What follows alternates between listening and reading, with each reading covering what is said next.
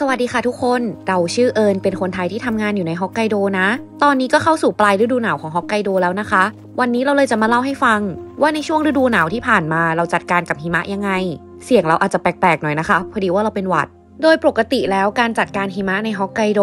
ก็จะแบ่งออกเป็นที่เราจะต้องกำจัดเอง และในส่วนที่ทางเมืองจะกำจัดให้ ทางเมืองจะกำจัดให้เฉพาะหิมะที่อยู่บนถนนสำหรับที่ให้รถวิ่งผ่าน ส่วนหิมะรอบๆบ้าน ไม่ว่าจะเป็นหน้าบ้าน หน้าโรงรถ หรือว่าหลังบ้าน อันนี้เจ้าของบ้านจะต้องเป็นคนกำจัดเองทั้งหมด อย่างบ้านที่เราอยู่เป็นบ้านที่ไม่มีรั้ว แล้วก็เป็นบ้านที่อยู่ในซอยตรงถนนที่รถวิ่งทางการก็จะกำจัดให้ค่ะ ส่วนตรงทางเข้าออกหน้าบ้าน แล้วก็ด้านหลังบ้าน เราจะต้องเป็นคนกำจัดเอง เดี๋ยวเราจะเล่าให้ฟังทีละส่วนแล้วกันเนาะเราจะพาทุกคนมาดูการกำจัดหิมะหน้าบ้านของเราก่อนนะคะ และนี่ก็คือหน้าบ้านเราเอง หน้าประตูเคยมีบันไดสองขั้น แต่พอเข้าหน้าหนาวทีไรหิมะก็จะตกหนัก จนทับขั้นบันไดเราไปหมดเลย ที่เราต้องเคลียร์หิมะหน้าบ้านเกือบทุกวัน เป็นเพราะว่าหิมะมันจะตกแบบนี้เรื่อยๆ ตกตลอด บางวันตกทั้งวันทั้งคืนเลย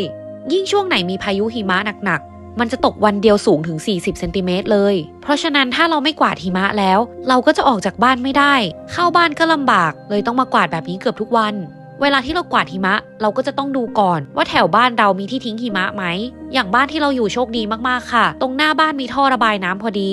เราก็เลยสามารถกวาดหิมะไปทิ้งที่ท่อระบายน้ำนั้นได้ เพราะว่าถ้าบ้านเราไม่มีท่อระบายน้ำแล้ว เราจะต้องกวาดกองทิ้งไว้รอจนกว่าทางการจะมาตักไปทิ้งให้อีกทีนึง ซึ่งมันจะเกะกะมากๆเลย เราจะเคลียร์หิมะประมาณช่วงหลังเลิกงาน หรือไม่ก็วันหยุด แต่ถ้าหิมะตกหนักมากๆ ก็จะตื่นมาเคลียร์ตั้งแต่เช้าก่อนไปทำงานเหมือนกัน เอาจริง ๆ แอบปวดหลังแล้วก็แอบปวดแขนนิดนึงค่ะ แต่ว่าต้องทำเพราะไม่งั้นหิมะจะกองสะสมกันเยอะมาก จนทำให้เวลาจัดการทีหลังมันจะลำบากยิ่งกว่าเดิม และนี่ก็คือท่อระบายน้ำหน้าบ้านเราเอง มันจะมีประตูเล็กๆ อยู่ สามารถเปิดได้นะคะ เวลาที่ทิ้งหิมะก้อนใหญ่ ๆ มันก็จะได้ลงไปทั้งหมดแบบนี้ ตอนที่เรามาแรก ๆอะ่ะ เราเคยเปิดทิ้งไว้แล้วก็ลืมปิดด้วย โดนคนข้างบ้านดุเอาเลย เขาบอกว่าวันหลังอะ่ะ เปิดแล้วก็ปิดด้วยนะ มันอันตราย เผื่อเด็กมาเดินเล่นแล้วตกลงไป หลังจากนั้นเราก็แทบจะไม่เปิดอีกเลย เพราะเรากลัวว่าเราจะลืมปิดเองและนี่ก็คือวิดีโอตอนที่เราเข้าบ้าน หลังจากที่เราไม่อยู่บ้านประมาณ 6 วันหิมะสูงถึงหัวเข่าเลยค่ะถ้าไม่กวาดหิมะก็เป็นแบบนี้แหละ เพราะฉะนั้นถ้าเป็นไปได้ ก็ต้องพยายามเคลียร์หิมะให้ได้ทุกวัน เพราะไม่ว่าเราจะตรากตามกวาดหิมะมากขนาดไหน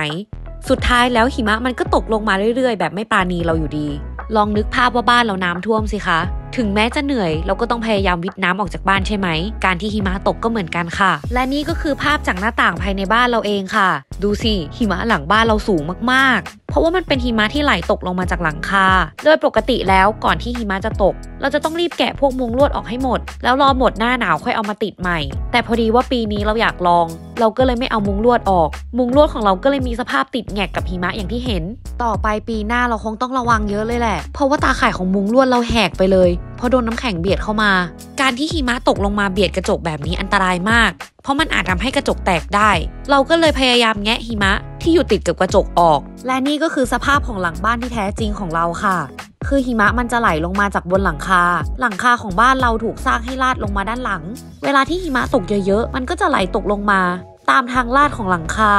เลยจะมากองรวมกันอยู่ที่หลังบ้านแบบนี้ ข้อดีก็คือหลังคาเราจะไม่มีวันถล่มแน่นอน เพราะต่อให้หิมะหนักแค่ไหนมันก็จะไหลลงมาข้างล่าง แล้วเราก็ไม่ต้องลำบากขึ้นไปกวาดหิมะบนหลังคาด้วย แต่ข้อเสียก็คือหิมะทั้งหมดมันจะไหลมากองอยู่ใกล้กับกระจกบ้านเรา เลยทำให้มีความเสี่ยงสูงที่กระจกจะแตก เราก็ต้องหมั่นมากวาดหิมะด้านหลังบ้านออก ด้านหลังบ้านเราจะมีท่อระบายน้ำเล็ก ๆ เล็กแบบเล็กมากจริง ๆอะเราไม่พอนะ อันนี้ต้องใช้ร่วมกับคนที่อยู่บ้านด้านหลังด้วย เพราะว่าบ้านด้านหลังเขาไม่มีท่อระบายน้ำเวลาที่เขากวาดหิมะ เขาก็จะกวาดมาใส่ท่อเดียวกันนี่แหละ บางทีแบบ เกือบยุมหัวกันอะเพราะเราก็อยากจะกวาดเขาก็อยากจะกวาด แล้วท่อมันก็เต็ม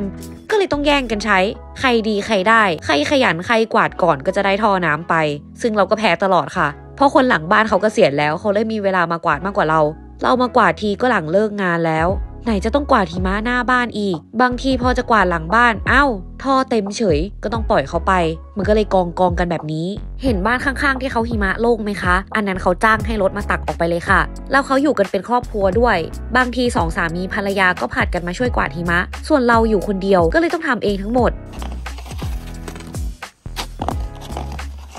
แต่โชคดีว่าเรามีเพื่อนร่วมงานที่ดี มีเจ้านายที่ดี เขาก็เลยมาช่วยกันกวาดหิมะหลังบ้านเราให้ค่ะ และนี่ก็คือเพื่อนร่วมงานที่ทำงานในแผนกเดียวกันกับเราเอง เจ้านายเป็นคนสั่งให้เขามาช่วยเราค่ะ จริง ๆ เราเกรงใจมากเลยนะ เพราะว่าทุกคนเองก็งานยุ่ง แต่เราก็กวาดเองไม่ไหวจริง ๆ พอบอกว่าจะไปจ้างเจ้านายก็ไม่ให้จ้างอีก ก็เลยต้องยอมให้เขาช่วย แล้วพอเสร็จงานเราค่อยซื้อน้ำกับขนมเลี้ยงเขาค่ะ เขาช่วยเรากวาดตั้งแต่ตอนที่หิมะมันสูงเกือบมิดหลังคา จนโล่งมาได้ขนาดนี้ แล้วตอนกวาดหิมะใกล้ๆหลังคาต้องระวังมากๆเลยนะคะ เพราะว่าพออากาศมันอบอุ่นขึ้น หรือว่าหิมะมันเยอะขึ้น มันจะค่อยๆไหลลงมาแบบนี้ ถ้าตกลงมาใส่เราเนี่ยบาดเจ็บได้เลยนะ สรุปที่กวาดออกไปก็คือ ตกมาจากหลังคาก็สูงเท่าเดิมเลยค่ะ ต้องขับไปกวาดกันใหม่ ส่วนหิมะด้านล่างก็สูงถึงอกเราเลย ถ้าทำเองก็ต้องค่อยๆ กวาดไปเหมือนเดิม จริง ๆ แล้วการกวาดหิมะในเขตบ้านตัวเองไม่ได้มีใครมาบังคับเราหรอกค่ะ มันขึ้นอยู่กับความสะดวกของเรา ว่าถ้าเราไม่กวาดหิมะแล้ว เรายังใช้ชีวิตได้สะดวกสบายเหมือนเดิมหรือเปล่า และถ้าอยู่ในชนบทเล็ก ๆ แบบนี้ อีกอย่างหนึ่งที่ต้องระวังเลยก็คือคำคอรหานินทาของชาวบ้านค่ะ เราเนี่ยแหละได้ยินกับหูตัวเองเลย คนญี่ปุ่นคนนั้นเขานินทาคนแถวบ้านเรา บอกว่าไม่ยอมกวาดหิมะรอบๆ กวาดเฉพาะทางเข้าออกบ้าน เราก็คิดในใจว่าเราก็เป็นนี่ด่าเราปะวะ หลังจากนั้นมาเราก็เลยพยายามกวาดหิมะให้มากที่สุดเท่าที่จะทำได้ค่ะ กลัวเขาเอาไปนินทาเหมือนกัน แล้วอีกอย่างเราก็เป็นคนไทยคนเดียวในเมืองด้วย เราก็เลยไม่อยากให้เขาจำภาพว่าคนไทยขี้เกียจก็เลยพยายามกวาดหิมะให้ได้ทุกวันค่ะ ตอนนี้หิมะไม่ตกแล้ว เราก็เลยไม่ต้องกวาดหิมะอีก หลังจากนี้เราก็จะไม่มีคอนเทนต์หิมะแล้วนะ คงได้ลงอีกทีก็ประมาณเดือนพฤศจิกายนเลย ไว้เรามาเล่าให้ฟังอีกนะคะ ไปแล้ว